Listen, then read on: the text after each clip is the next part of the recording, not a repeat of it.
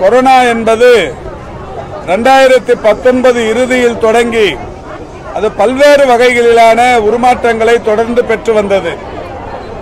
நம்முடைய தமிழ்நாட்டை பொறுத்தவரை மாண்புமிகு தமிழ்நாட்டின் முதலமைச்சர் அவர்கள் நோய் எதிர்ப்பு சக்தியை உருவாக்குவதற்கு வசதியாக தொண்ணூற்றி எட்டு சதவீதத்திற்கும் மேலானவர்களுக்கு மூன்று வகை தடுப்பூசியும் போட்டு இன்றைக்கு தமிழக மக்களிடையே நோய் எதிர்ப்பு சக்தி என்பது கூடுதலாகவே இருந்து கொண்டிருக்கிறது. அந்த நிலையில் இது தமிழ்நாட்டில் மட்டுமல்ல உலகம் முழுவதிலும் இது போன்ற நிலை இருந்து கொண்டிருக்கிறது. இந்த நிலையில் இந்த கொரோனாவின் உருமாற்றம் என்பது தொடர்ச்சியாக பல வகைகளில் வந்து சென்று கொண்டிருக்கிறது. கொரோனா என்றும் ஆல்பா என்றும் பீட்டா என்றும் டெல்டா என்றும் டெல்டா பிளஸ் என்றும் கம்மா என்றும் கப்பா என்றும் ஒமிக்ரான் என்றும் ஒமிக்ரானில் ஒரு இருபது முப்பது வகைகள் என்றும் கூட பல்வேறு வகைகளில் இந்த உருமாற்றங்கள் என்பது தொடர்ந்து கொண்டிருக்கிறது.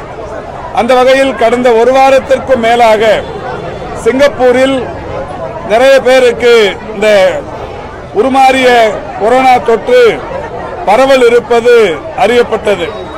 உடனடியாக சிங்கப்பூரில் இருக்கிற நேஷனல் யூனிவர்சிட்டி ஆஃப் சிங்கப்பூர் அந்த அமைப்பில் பணியாற்றுகிற மருத்துவர்களோடு நாங்கள் தொடர்பு கொண்டு பேசினோம். இது எந்த வகையிலான பாதிப்பை ஏற்படுத்துகிறது என்று அவர்களிடத்தில் கேட்டபோது அவர்கள் சொன்ன தகவல் ஒரு பாசிட்டிவான ஒரு நோயாளி மூன்று அல்லது நான்கு நாட்களில் நெகட்டிவ் ஆகிவிடுகிறது இது இருமல் மற்றும் சளி ஆகிய இரு உபாதைகள் மட்டுமே இதனால் ஏற்படுகிறது.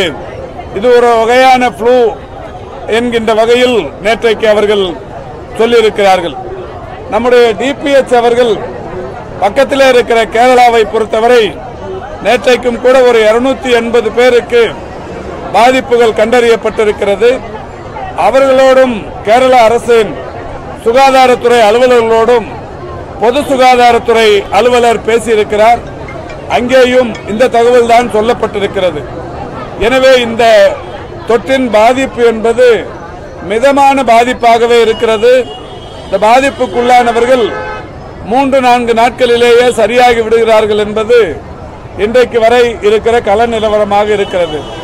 என்றாலும் கூட தமிழ்நாட்டு மக்கள் நல்வாழ்வுத்துறையை பொறுத்தவரை மாண்புமிகு தமிழக முதல்வர் அவருடைய வழிகாட்டுதலின்படி தொடர்ச்சியாக இதை கண்காணித்துக் கொண்டிருக்கிறோம். காய்ச்சல் அதிகம் உள்ள பகுதிகளில் காய்ச்சல் பாதிப்புகள் அதிகம் இருக்கிற பகுதிகளில் இருப்பவர்களுடைய மாதிரிகளை அங்கே ஆர்டிபிசிஆர் பரிசோதனைகள் செய்யப்பட்டு வருகிறது. ஒவ்வொரு நாளும் கடந்த மூன்று நான்கு மாதங்களாக ஓரிலக்க என்கின் எண் அளவிலேதான் இந்த ஆர்டிபிசிஆர் பரிசோதனைகள் செய்யப்பட்டு வந்தது. இன்றைக்கு இந்த பாதிப்புகள் அண்டை மாநிலத்திலும் அண்டை நாடுகளிலும் ஏற்பட்டிருக்கிற காரணத்தினால் நாமும் கூட இந்த ஆர்டிபிசிஆர் பரிசோதனைகளை காய்ச்சல் பாதிப்பு அதிகம் இருக்கிற பகுதிகளிலிருந்து எடுத்து ஆய்வு செய்ய வேண்டும் என்று சொல்லியிருக்கிறோம். அதோடு மட்டுமல்லாது இந்த மாதிரிகளை எடுத்து பகுப்பாய்வு செய்து இது எந்த மாதிரியான வைரஸ் என்பதை கண்டறிவதற்கும் நடவடிக்கை எடுக்கப்பட்டிருக்கிறது. இந்த மாதிரிகள் அனுப்பப்பட்டு ஒரு நான்கு ஐந்து நாட்கள் அல்லது ஒரு வார காலத்திற்குள் அது என்ன மாதிரியான வைரஸ்? எதிலிருந்து உருமாற்றம் பெற்ற வைரஸ் என்கின்ற அந்த விவரங்கள் தெரிய வரும். தெரிந்தவுடன் உங்களுக்கு சொல்வோம். அந்த வகையில் தொடர்ச்சியாக இப்பொழுது தமிழ்நாடு அரசு இதை கண்காணித்துக் கொண்டிருக்கிறது.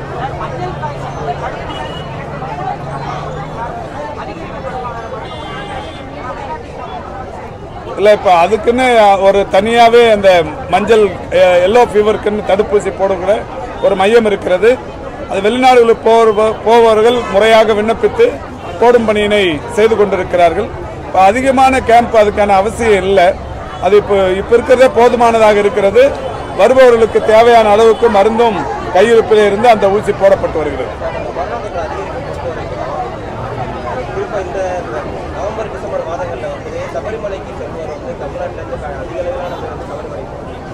கேரளாவில் தான் அதிக அளவிலான பாதிப்பு மாலை இல்லை அந்த மாதிரி எல்லாரையுமே பரிசோதனை பண்ண வேண்டிய அவசியம் இல்லை. அந்த மாதிரி ஒரு பதட்டமான சூழலும் இல்லை. காய்ச்சல் பாதிப்பு எங்கே இருக்கோ இப்போ ஒரு ஒரு கிராமத்தில் அல்லது ஒரு தெருவில் ஒரு நாலஞ்சு பேருக்கு பா- காய்ச்சல் பாதிப்பு இருக்குது ஒரே வீட்டில் ரெண்டு மூணு பேருக்கு இருக்குது அந்த மாதிரி வீட்டில் இருக்கிறவங்களுக்கு ஆர்டிபிசிஆர் பரிசோதனைகள் செய்து ஆய்வுகளை மேற்கொள்ளலாம். போற வர எல்லாரையுமே பண்றதுங்கிறது இப்ப தேவையில்லாத ஒன்று அந்த மாதிரியான ஒரு பதட்ட சூழலும் இப்போது இல்லை. சார் சார் நீங்க எதுவும் பேசுறீங்க சார் நீங்க சார் கார்பரேஷன் சொல்லுங்களா சார், கமிஷனர் கார்பரேஷன் டீடைல் சொல்றேன். இல்லைங்க ஏற்கனவே நமக்கு எப்போவுமே ஒரு ஃபேஸ் ஃபஸ்ட்டு வந்து இம்பேக்ட் ஃபேஸ்ன்னு சொல்லுவாங்க. மழை வந்து முப்பத்தாறு மணி நேரம் பெஞ்சு தண்ணி வெளியில் வந்து போகாமல் இருக்கக்கூடிய சூழல். அதுக்கு நாலு அஞ்சு நாளுக்கு அப்புறம் போஸ்ட் இம்பேக்ட் ஃபேஸ் அந்த ஃபேஸில் வந்து தண்ணீர் வடிந்த இடத்துல சுகாதாரத்துறையோட வழிகாட்டல்படி ப்ளீச்சிங் பவுடர் கொடுப்பது டேங்க்ஸ் அவங்க சம்பை கிளியர் பண்ணுறது அதே மாதிரி தொற்று நோய் தடுப்பது அந்த பணிகள். அது மட்டும் இல்லாமல் இதுவரைக்கும் நம்ம இந்த ஏழு எட்டு நாட்களில் எண்பத்தாறாயிரத்தி நானூற்றி எழுபத்தோரு மெட்ரிக் டன் குப்பையை அகற்றியுள்ளோம்? எண்பத்தாறாயிரத்தி நானூற்றி எழுபத்தோரு மெட்ரிக் டன் அந்த கார்டன் கார்பேஜுங்கிறது குறைய தொடங்கி இனிமேல் நமக்கு இயல்பான கார்பேஜ் அதிகமாக தொடங்குது. அது பத்தாயிரம் மெட்ரிக் டன் வரைக்கும் ஏறி இப்போ குறைய தொடங்கினதோட ஆதாரம் என்னன்னா நமக்கு குப்பையின் அளவு மாநகரத்தில் குறைய தொடங்கியுள்ளது. இந்த பணிகள் தொடரும்.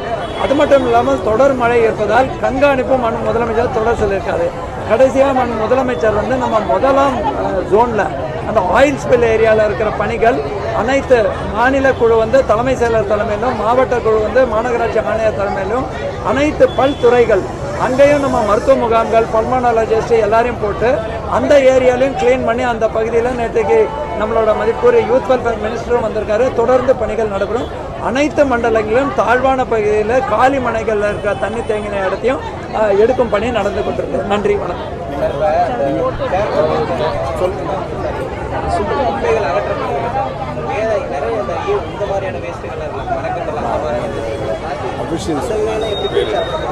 இல்ல இல்ல அத வந்து நம்ம வந்து எல்லாமே வெயிங் பிரிட்ஜோட இது. நமக்கு பெரிய சவால் வந்தது மூணு நம்மளோட பேட்டரி ஆப்ரேட்டட் வெஹிக்கிளோட இடங்கள் தண்ணியில போயிடுது. அதற்கு மாற்று ஏற்பாடாக இன்னைக்கு புழுதிவாக்கத்துல தொடங்குறோம். மக்கும் குப்பை மக்காத குப்பை. வந்து ஒரு அறுபது விழுக்காடு மக்கள் தானாக பிரித்து செஞ்சு இப்போ நம்மளோட வீடு சென்று தொடங்கி இன்னிலேருந்து எல்லா இடத்துலையும் தொடங்கியதுனால அது மறுபடியும் பிரித்தெடுத்தோம் இல்லையா நம்ம மெட்டீரியல் அந்த குப்பை கொட்டும் வளாகத்திலையும் மாற்று நிலையத்தையும் பிரித்தெடுத்தோம். கடைசியாக நாங்கள் குப்பை கொட்டும் வளாகத்தில் வந்த கணக்கில் தான் நான் சொல்கிறேன் தொடர்ந்து இந்த பணி நடைபெறும். இந்த ஒன்றிய அரசிடமிருந்து வந்த அந்த குழு இந்த பேரிடர் அந்த வெள்ள நிவாரணம் குறித்து ஆய்வு செய்வதற்கு வந்த அந்த குழுவினரை ஒருங்கிணைத்த நம்முடைய துறையின் செயலாளர் அவர்கள் இப்போது உங்களிடையே பேசுவார். அதாவது சென்ட்ரல் கவர்மெண்ட்லேருந்து வரக்கூடிய டீமுடைய அஃபிஷியல்ஸ் வந்து எல்லாம் சுற்றி பார்க்கும்போது நம்முடைய ரிலீஃப் பார்க்கும்போது ஒரு அது சம்பந்தமாக மெடிக்கல் கேம்ப்ஸும் பார்த்தாங்க இதில் இது கூட பார்த்தாங்க. தேவர் குவைட் அப்ரிஷியேட்டிவ் இதர ஸ்டேட் வரும்போது ஒரு துறையுடைய நடவடிக்கை வந்து துறைகளுடைய நடவடிக்கை வந்து ஒருங்கிண முறையில் வந்து சிறப்பாக இருக்கும்போது மெடிக்கல் கேம்ப்ஸ் குறிப்பாக ஒரு பாராட்டினாங்க. அவங்க இன்னொரு பாயிண்ட் சொன்னாங்க எத்தனை நாள் தொட வேண்டும்? So we have told that at least next ten fifteen days இது நாங்கள் தொடருகிறோம். இது சம்மந்தமாக வந்து டெய்லி ஈவினிங் டைம் வந்து மெடிக்கல் கேம்ப்ஸோட அனாலிசிஸ் பண்ணுவோம். அனாலிசிஸ் பண்ணி ஒவ்வொரு வார்டில் நாட் ஓன்லி மாநகராட்சி பக்கத்தில் இருக்கக்கூடிய காஞ்சிபுரம் செங்கல்பேட் திருவள்ளூர் மாவட்டங்களில் இருக்கக்கூடிய ஒவ்வொரு பிளாக்லேயே எந்த வார்டில் ஃபீவர் கேசஸ் அதிகமாக இருக்கின்றதோ டைரியா கேசஸ் இருக்க கண்காணித்து அங்கே வந்து லோக்கல் பாடிக்கு கூட ஒரு நாங்கள் வந்து ஒரு ஃபீட்பேக் கொடுக்குறோம். அதாவது குளோரினேஷன் எங்கே கூடலாம் குறைக்கலாம் என்பதை பார்க்கும்போது படிப்படியாக ஆஸ் ஆஃப் நவ் அது என்ன ஃபீவர் கேசஸோட எண்ணிக்கை வந்து சிக்ஸ் தண்ணி சிக்ஸ் செவன்த் இருக்கக்கூடிய விட இப்போ வந்து குறைகின்றது என்பது ஒரு that is a good point இருந்தாலும் ஆனரபிள் மினிஸ்டர் வந்து இந்த கேம்ப்ஸ் வந்து தொடர சொல்லியிருக்காங்க. இதுவரை வந்து சிக்ஸ்த்ல இருந்து ஸ்டார்ட் பண்ணக்கூடிய கேம்ப்ஸ்ல இருந்து இதுவரை கிட்டத்தட்ட ஒன்பதாயிரத்தி அறுநூத்தி இருபத்தி ரெண்டு கேம்ப்ஸ் நடத்திருக்கோம். இந்த செ- சென்னை மாநகராட்சி செங்கல்பேட் காஞ்சிபுரம் திருவள்ளூர் மாவட்டங்களில் இந்த கேம்ப்ஸ் வழியாக கிட்டத்தட்ட ஆறு லட்சத்தி இருபத்தி எட்டாயிரம் பேருக்கு வந்து டாக்டர்ஸ் வந்து எக்ஸாமின் பண்ணியிருக்காங்க அவங்களுக்கு உரிய இது கூட கொடுத்துருக்காங்க. கவர்மெண்ட் சார்பாக கூட மினிஸ்டர் கூட சொன்னாங்க. பொதுவாக இது இது ரெயின் பிறகு வந்து குழந்தைகள் பொறுத்தவரையிலே மீசல்ஸ் நோய் வரதா வாய்ப்பு இருக்கு. அதான் வந்து ஒரு வலியுறுத்தி நாங்கள் மறுபடியும் வலியுறுத்தி சொல்கிறோம் கவர்மெண்ட் சார்பாக எல்லா பிஹெச்சிஸ்ல சென்னை மாநகராட்சி மற்றும் டிஸ்ட்ரிக்ஸோட பிஹெச்சிஸ்ல குழந்தைகள் ஏற்கனவே அதாவது ஒரு வயசுலேருந்தும் பதினஞ்சு வயசு வரை இருக்கக்கூடிய குழந்தைகள் ஏற்கனவே மீசல் தடுப்பூசி போட்டாலும் கூட ஒரு ஒரு தடுப்பூசி குறிப்பாக எங்கெங்கே தண்ணி தேங்கிட்டு இருந்தது அந்த ஏரியாலே தடுப்பூசி போட்டாக்கா அவங்களுக்கு வந்து பாதுகாப்பாக இருக்கும். அதே நேரத்தில் மீசல்ஸ் பொதுவாக மலை பெரு மீசல்ஸ் நோய் பரவலாக ஸ்ப்ரெட் ஆகிறத வாய்ப்பும் அது தடுக்கலாம். இதுவும் தமிழ்நாடோட ப்ரோஆக்டிவ் பாலிசி கூட சென்ட்ரல் கவர்மெண்ட் கூட அதை பாராட்டினாங்க. ஸோ எல்லாமே இதை பயன்படுத்த வேண்டும் தெரிவித்துக் கொள்கிறேன் குளோரினேஷன் பற்றி ஏதாவது கைட்லைன்ஸ் கொடுக்குறோமா வாட்டர் பாண்ட் டிசீஸ் வராமல் இருக்கிறதுக்கு என்னென்ன நடவடிக்கைகள் பொது-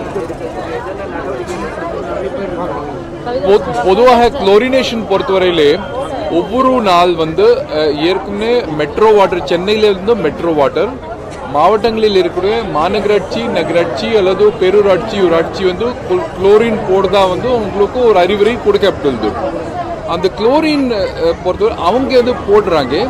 அதே நேரத்தில் ஹெல்த் டிபார்ட்மெண்ட்டுடைய ஹெல்த் இன்ஸ்பெக்டர்ஸ் வந்து ஒவ்வொரு வார்டில் வந்து கடைசி பகுதியில் டெய்லி குளோரினுடைய அளவு செக் பண்ணி பிறகு நைட் வந்து நைட் நாங்கள் வந்து சில டைம் ஆனரபிள் மினிஸ்டருடைய தலைமையில் ஜூம் மீட்டிங் நடக்கும் நேற்றும் நைட்டு கிட்டத்தட்ட எட்டரை மணி மீட்டிங் நடத்திட்டு சென்னை மாநகராட்சி செங்கல்பேட் காஞ்சிபுரம் திருவள்ளூர் எங்கெங்கே கடைசியாக இருக்கக்கூடிய ஏரியாலே குளோரினோட அளவு இருக்கக்கூடிய அளவை விட குறைவாக இருக்க வந்து நாங்கள் ஒரு கண்டுபிடிச்சிட்டு அது உரிய மெட்ரோ வாட்டர் ஆஃபீஷியல்ஸ்க்கு அந்த ஏரியாவில் இன்னும் குளோரினோட அளவு கூ- கூடுதலாக கொடுக்க வேண்டும் வந்து நாங்கள் வந்து அவங்களுக்கு கண்காணிக்கிறோம். ஸோ வி ஆர் ஆல்சோ வாட்சிங் நம்பர் ஒன் நம்பர் டூ என்ன பார்த்தோம்? சில ஏரியாலே ஸ்லம் ஏரியாலே மேலே இருக்கக்கூடிய சின்டெக்ஸ் டேங்க்ஸ் ஓப்பனாக இருக்கு. இந்த நேரத்தில் வந்து ஓப்பனாக இருக்கக்கூடிய சின்டெக்ஸ் டேங்க்ல வந்து வந்து டெங்கு கொசுவோட உற்பத்தி இறக்க அதிகமாக இருக்கதா வாய்ப்பு இருக்குது.